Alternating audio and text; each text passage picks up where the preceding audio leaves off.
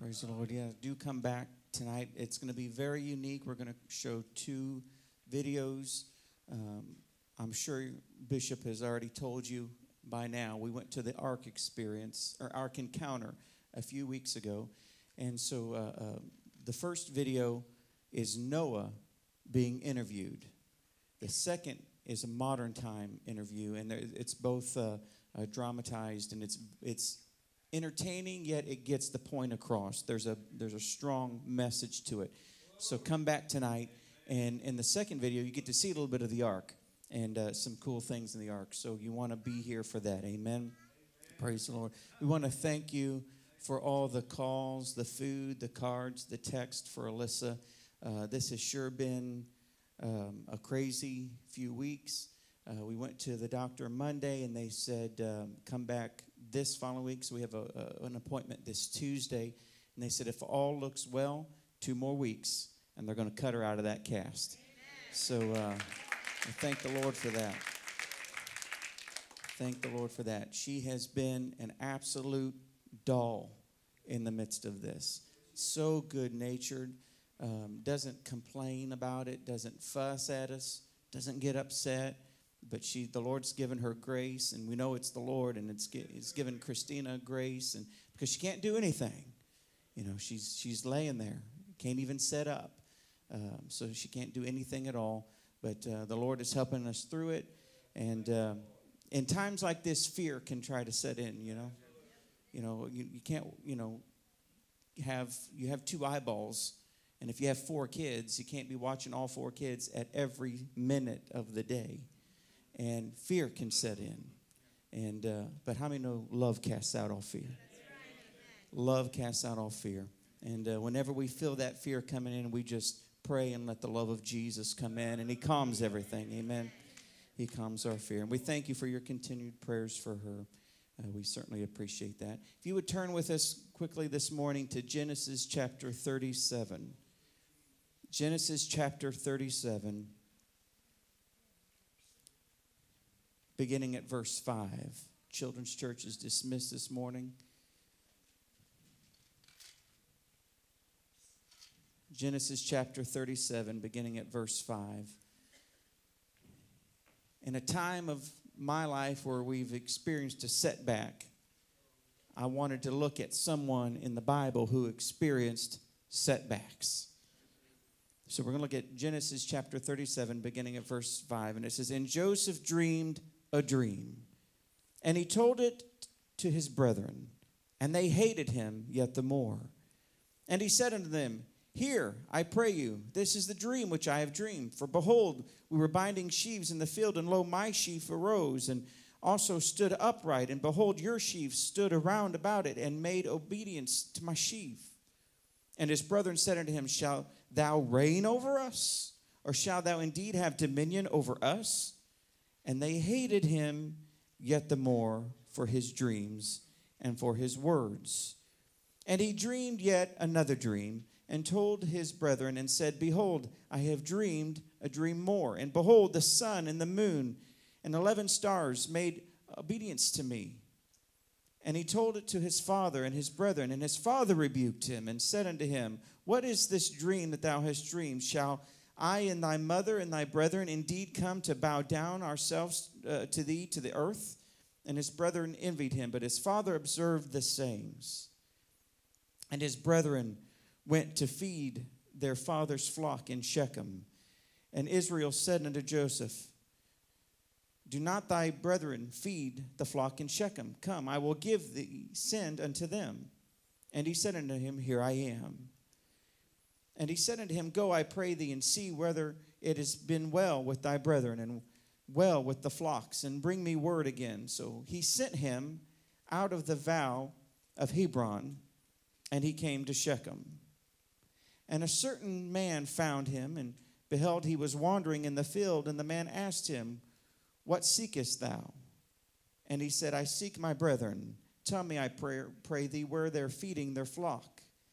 And the man said, They have departed hence, for I heard them say, Let us go to Dothan. And Joseph went after his brethren and found them in Dothan. And when they saw him afar off, even before he came near unto them, they conspired against him to kill him. And they said to one another, Behold, this dreamer cometh. Come now, therefore, and let us slay him and cast him into some pit, and we will say, Some evil beast has devoured him, and we shall see what will become of his dreams. Let's pray. Lord, we thank you for today. We thank you for everything you've done up to this point. Lord, we thank you for the dreams that you give to your children. And Lord, help us to get through the hard times. Help us to get through, Lord, even the times where our dreams have seemed to be uh, experiencing setbacks. But Lord, if the dream came from you, it shall come to pass. We thank you, Lord, for that. Lord, let us hear what the Spirit is saying to the church in Lincoln. We thank you in Jesus' name. Amen. Do you remember what it was like to be young? Do you remember? Some of you can say, I'm still there. Some of you are saying, I'm still there by faith. Some of us here might have to go way back in the corridors of our mind to remember being young. Nevertheless, I'm sure you can remember those feelings. To feel like you had a bright future ahead of you that you could overcome any obstacle, conquer any mountain, and defeat any enemy that stands between you and your dreams. You felt that you had purpose and you were going to be somebody. You felt great. You felt empowered until you bore your dream in your soul to the wrong person.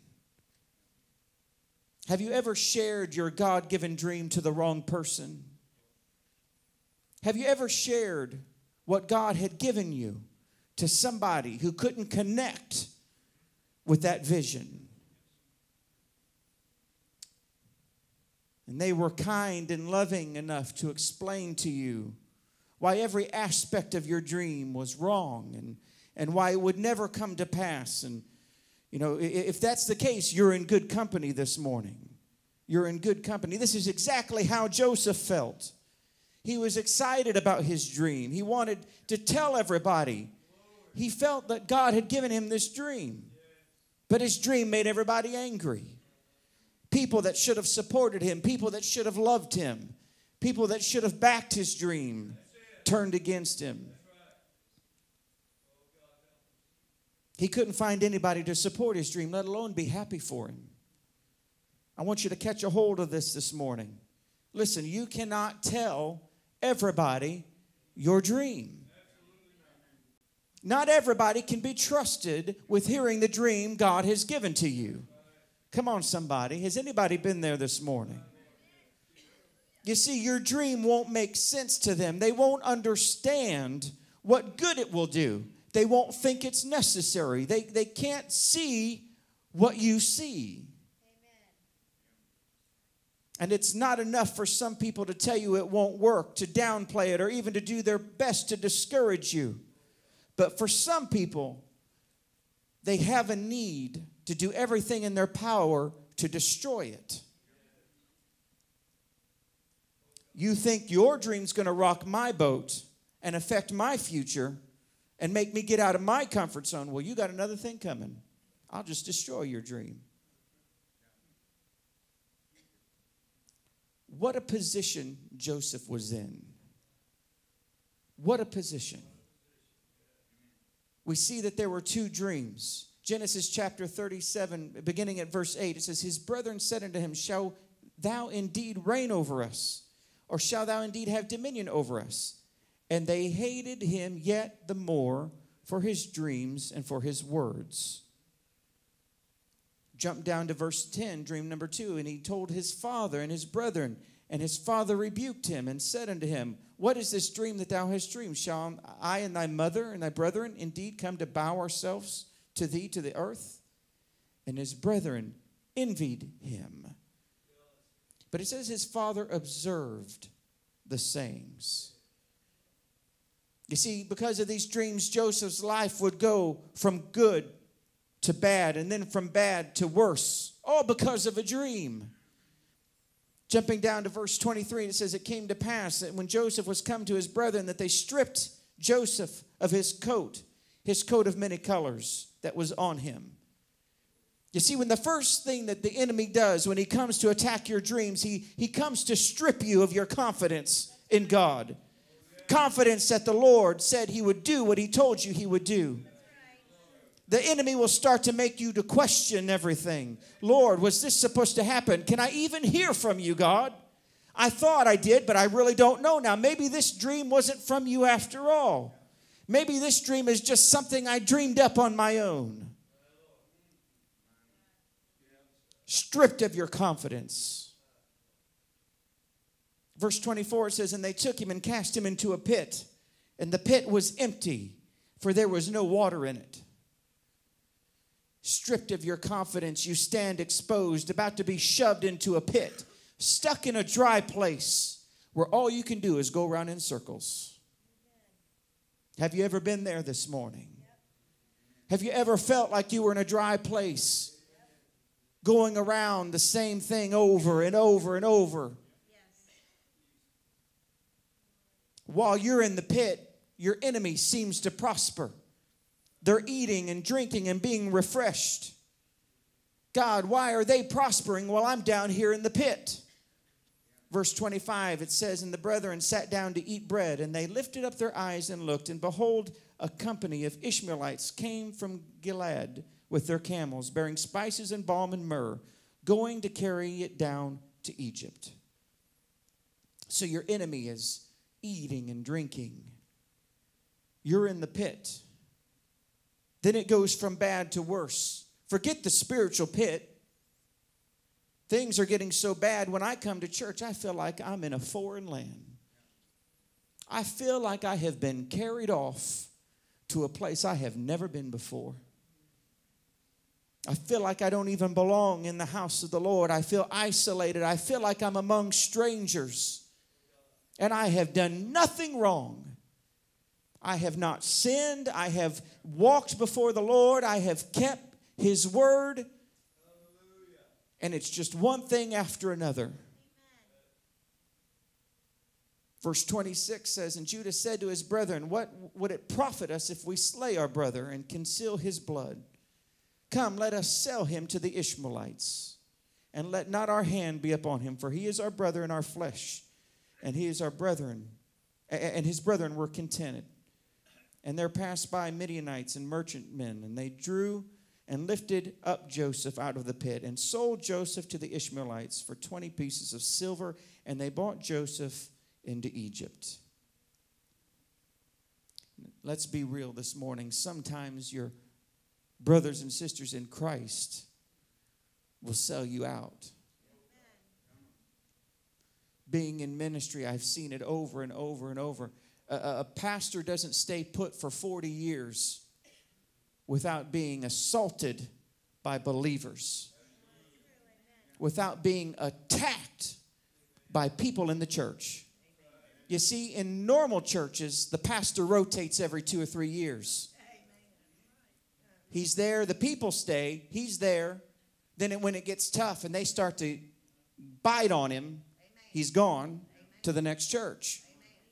But when you have someone with grit that stays 40 years, sometimes a fight will come. Sometimes you will be attacked by your brothers and sisters in Christ.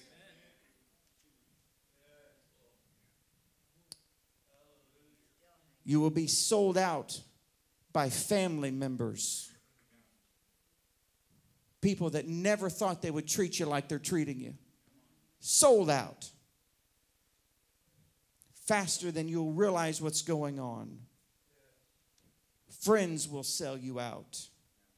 That's why Paul says in Hebrews chapter 2, verse, in verse 2 and 3, looking unto Jesus, the author and finisher of our faith, for the joy that was set before him, endured the cross, despising the shame, and sat down at the right hand of the throne of God.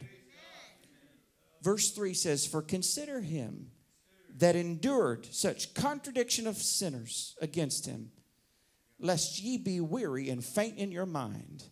Paul saw it coming. Paul was treated the same way. He was attacked by his own brethren. But who are we following? Who are we following? Are we following Jesus? Are we considering Jesus and what Jesus went through? Or are we looking at man? Verse 3 says, Consider him. Consider that he was betrayed by one of his own disciples. Consider that he was beaten and tortured by the ones he came to save. Consider that he was despised and rejected by his own people. Consider that he was killed by his very creation. We must always keep our eyes on the Lord, no matter what happens to us, no matter what people do to us, no matter what offense may come our way. All of this for Joseph because of a dream. And you know the story goes from bad to worse. Verse 36 And the Midianites sold him into Egypt and to Potiphar, an officer of Pharaoh's and a captain of the guard. Yet through all of this persecution, the Lord never left Joseph. Amen. The Lord never left Joseph. I'm sure he thought at times, I am all alone. He's in a foreign land. They don't even worship the same God. Did he even know the language? Genesis chapter 39, verse 2 says, And the Lord was with Joseph, and he was a prosperous man, and he was in the house of his master, the Egyptian. No matter what you go through, the Lord is there. No matter how many setbacks you experience, the Lord is there that physical condition you just can't seem to get corrected, the Lord is there. Those problem children that won't come to the Lord, the Lord is there. He's with you. Deuteronomy chapter 31, verse 8 says, And the Lord, He is that that, that goes before thee. He will be with thee. He will not fail thee, neither forsake thee. Fear not, neither be dismayed. Sometimes you just have to look at yourself and say, Fear not. Fear not. I'm sure by now, at this point in his life, Joseph had questioned his faith in Jehovah. It would only be human to wonder why. Why was this happening? Why am I going through this? This isn't fair. And he's asking God why. And as he's praying, he hears someone call his name Joseph, come here, Joseph. And he must go because it's Potiphar's wife. And as if things aren't bad enough, this woman tries to seduce him. And as Joseph tries to escape, she rips off his coat, yells for the guards, blames him, and now he's arrested taken to prison for something he didn't do. I'm sure he must have felt that God had forsaken him at this point, all because of a dream. Yet through it all, he still believed. Though he felt alone, he still believed. Not only in Jehovah, but I believe he still believed in the dreams that the Lord had given him. Listen, no matter what you go through, hold on to your dreams. Hold on to your God given dreams. Although you must walk the dark valleys in life, and we all must walk the dark valleys, hold on to your dreams. Don't lose your faith. Keep holding on, even when there's nothing left to hold on to. Turn to your neighbor and say, Hold on. Hold on this morning. Joseph sits in prison, not just a few days, not just a few months, but years. Years he sits in prison. There are two things that I want you to get down in your spirit and process this morning. Number one is God will use the very thing or the very action of a person that has tried to destroy your dream as a catalyst to bring your dream to pass. He will do that. the sons of Jacob thought they were destroying the dream of Joseph by selling him into slavery. But instead, it was their actions that was the necessary steps. It was necessary for Joseph to go to Egypt. It was the very steps that brought his dream to pass. Listen, if Joseph would have forfeited that process, if he would have forfeited that process, then his dream would have never come to pass. Listen, you may have thought it was over. You may have thought it was too late. You had taken one too many hits. I'm in no longer in a position for God to use me. I've had one too many setbacks. The enemy has hit me one too many times. I'm no longer in the location where the vision that God gave me can come to pass. Oh, no, listen. Everything you went through was for a reason. Everything that you're going through is bringing you through the process to the point of the manifestation of the dreams. Everything has happened in your life for a reason. What the devil thought would destroy you was actually was what bringing the fulfillment of God's uh, uh, dream to your life. It's bringing the, the purpose, the fulfillment of his purpose in you. When you understand this, it's and get this down in your spirit, it, you, you start to uh, uh you see scriptures like Luke chapter 6, verse 28. Bless them that curse you and pray for them which despitefully, despitefully use you. Just pray for them because they're just helping you get to your dream. They're just helping you through the process. If you truly believe this, this will change your way of thinking. Turn to the person next to you and say, They're just helping me fulfill my purpose. Some of you can say, I've had my helping to the nth degree of being fulfilled to my purpose. But listen, there's a reason. There's a reason for it.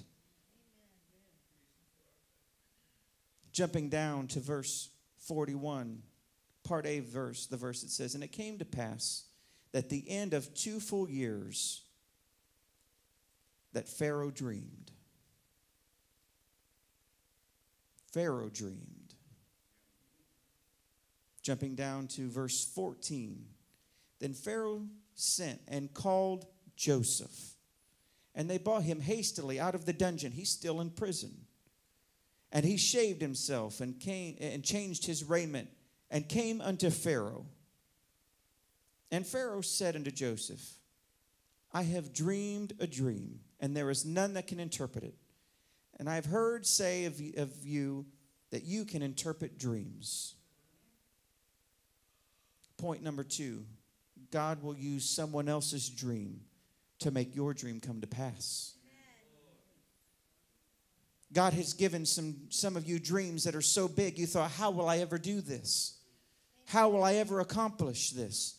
But don't worry because somebody else is dreaming a dream that will line up with your dream and it will work hand in hand with your dream. And the help that someone else's dream will give you will cause your dream to come to pass.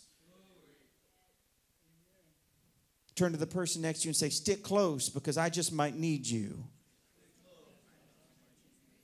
In fact, prophetically, as a corporate body, there's a vision, there's a dream that God has given this house. And when we help each other fulfill each other's dreams, what we're doing is we're actually fulfilling the dream of the house. We're impacting the city, the region for Christ. You see, we need each other.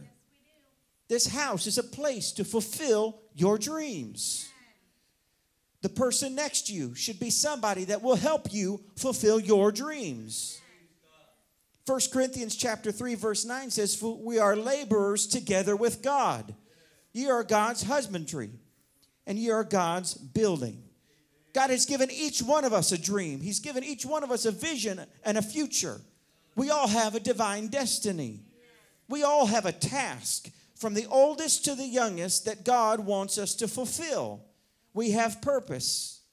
And the Lord will always supply what we need to fulfill that purpose.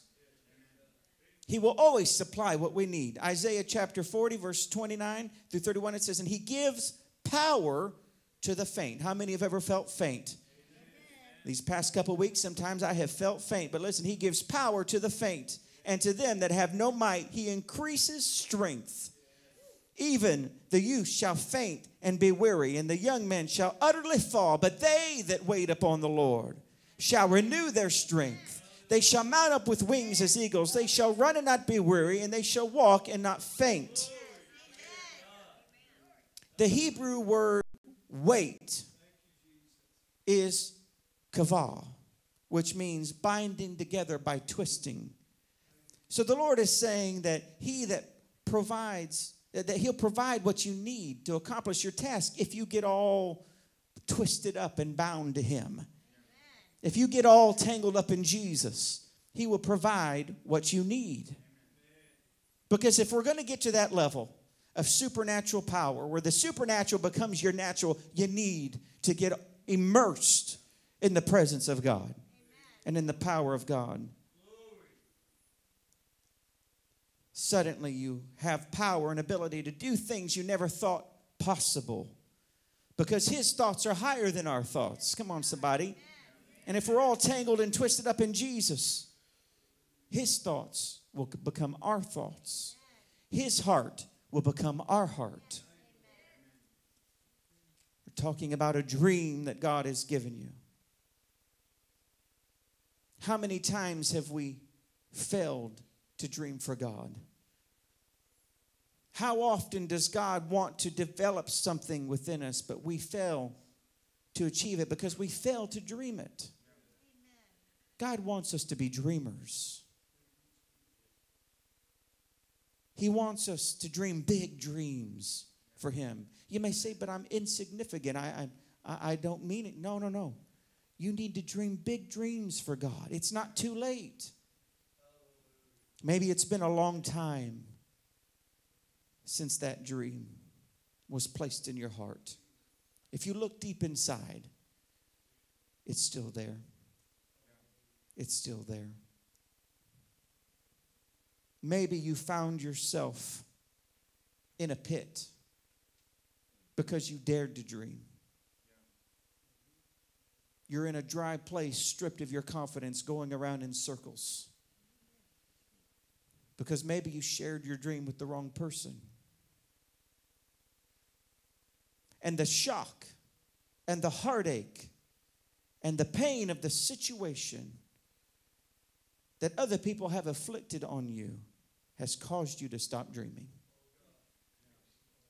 But this morning, it's time to dream again.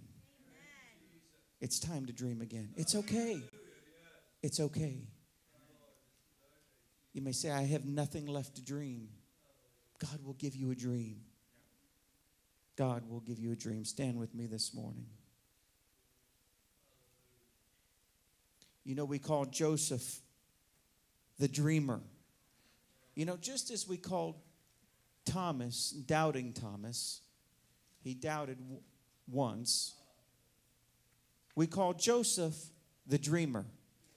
And scripture only says he had two dreams. Just two dreams. Did he have other dreams concerning the future? I don't know. Scripture doesn't tell us. Maybe not. Was he afraid to dream because of these two dreams? It's a possibility. It's a possibility. Don't be afraid to dream because you're in a pit. It's time to dream again. It's time to let it all go. It's time to realize it's a part of the process. Turn to the person next to you. Don't take it personal. The devil's just doing his job. He's just doing his job. Nothing worth anything ever came without a fight. The greater the fight, the greater, greater the struggle that you're facing, the more valuable your dream will be to you. The greater in power your dream will be. The heart of this message is searching for two groups of people the people who need to dream again, and the people that need peace for the pit. If you hold on and continue to dream, your dreams will come to pass. If you hold on and continue to trust Jesus, your dreams will come to pass.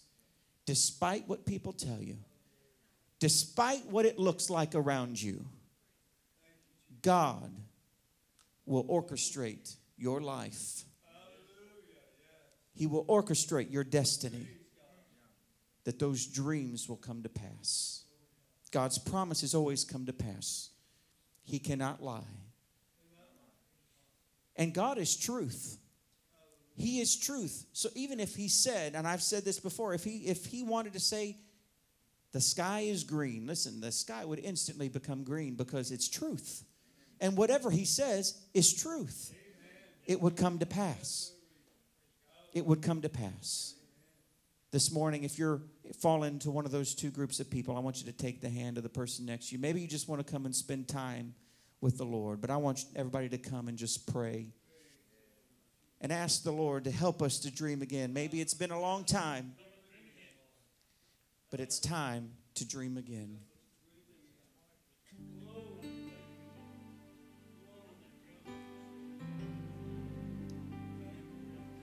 We thirst for you.